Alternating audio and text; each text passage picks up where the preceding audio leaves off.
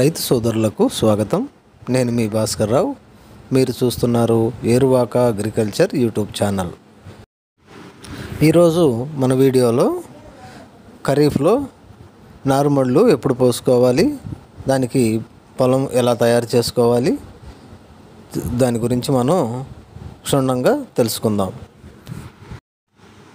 ముందుగా నారు పోసుకునే స్థలంలో వేసవి దుక్కులు అంటే పొడి దిక్కు దున్నుకు పెట్టుకోవాలండి. అలా దున్నుకున్నట్లయితే నారుమడిలో ఉండే పూర్వపు అవశేషాలు మరియు పురుగులు లా పురుగుల యొక్క నా లార్వా దశలు మొత్తము ఎండకి నాశనం అయిపోతాయండి తరువాత నారు పోసుకునే ముందు ఒక నాలుగు రోజుల ముందు నీరు పెట్టుకొని ఉంచుకోవాలి.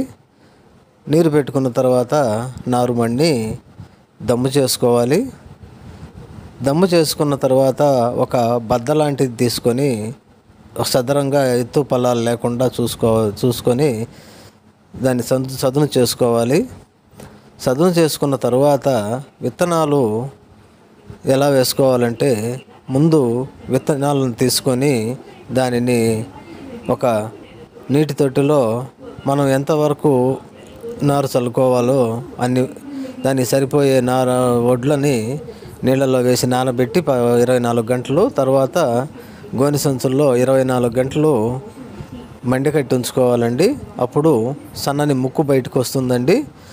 అప్పుడు దాన్ని ప్రధా నారు పోసుకునే స్థలంలో తీసుకెళ్ళి దాన్ని ఒక సెంటుకి ఒక నలభై ఐదు కేజీలు విత్తనాలని చల్లుకోవాల్సి ఉంటుంది.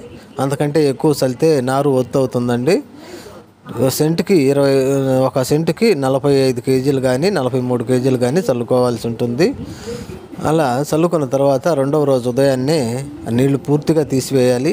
ఎక్కడైనా గుంటల్లో నీళ్ళు ఉంటే వాటిని ఎత్తి పారపోసుకోవాలండి నారుకయ్య సమానంగా ఆరేటట్లు చూసుకోవాలి.